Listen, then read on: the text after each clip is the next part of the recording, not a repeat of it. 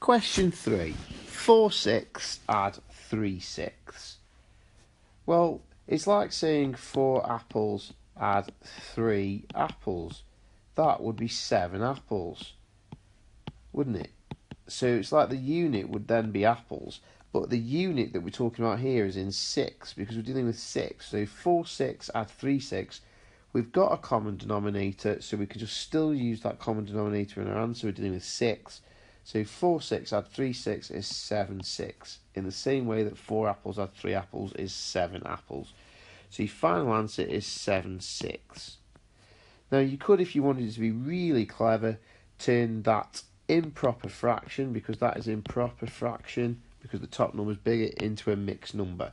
And to do that, you would do 7, whatever's on the top, divided by whatever's on the bottom. So 7 divided by 6. Well, 7 divided by 6 is one whole lot of 6 in there, remainder 1. It's 1 remainder 1. And because we're dealing with 6, you just keep the same denominator. So it's 1 whole 1, remainder 1 sixth. So you could, if you really wanted to, put an answer of 1 and 1 sixth.